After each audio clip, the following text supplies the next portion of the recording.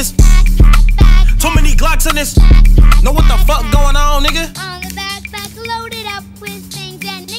Too much shit in here.